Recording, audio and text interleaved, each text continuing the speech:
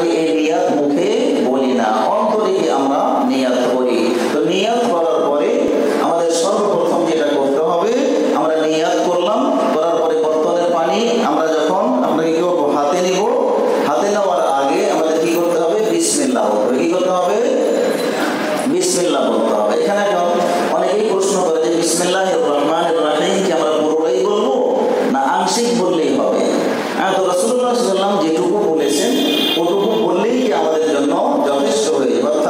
শুধু আমরা কি বলব?